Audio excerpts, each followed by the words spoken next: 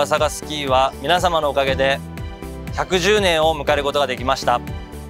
ありがとうございます。今からですね、えスキーの方の紹介をさせていただきたいと思います、えこちらの TC シリーズは技術戦で皆さん選手が使用しているスキーになります、えその中で今回 TCSU の説明をしたいと思います。来期モデルの TC は合成がアップしたのとサイドカーブが変更になりました、えー、高速域でのターンスキーの安定あとはターンの捉えの速さっていうのが向上しています。またデザインも赤色になりましたんで是非手に取ってみてください。はい続きましてケオッツシリーズの紹介をしたいと思います。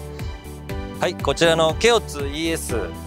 なんですがまず構造がサンドイッチ構造になってます。来シーズン出るケオッツシリーズはサンドイッチ構造で、えー、合成がアップしています。でこちらのケオツなんですがオールラウンドスキーということでえこちらのスキー1台で大回り小回りコブですね、えー、テクニカルとかクラウンそういった検定なんかでも1台で受けていただける1台になってます。またこの実際ににとって見ていただきたい点はこの表面が少し段差がついてると言いますかボコボコしてるところがあります。えこれによって今までの KEO'S よりも剛性スキーの強さですねが増してます。それによってターン中の安定感走りが向上していると思われますので是非実際に手に取ってスキーに乗って体験していただきたいと思います。続きましてユニティシリーズの紹介をしたいと思います。えこちらのユニティシリーズなんですが今期でオガサカが110年になります。その中で長年継続されてきているシリーズになります。このスキーもオールラウンドスキーでこのスキー1台で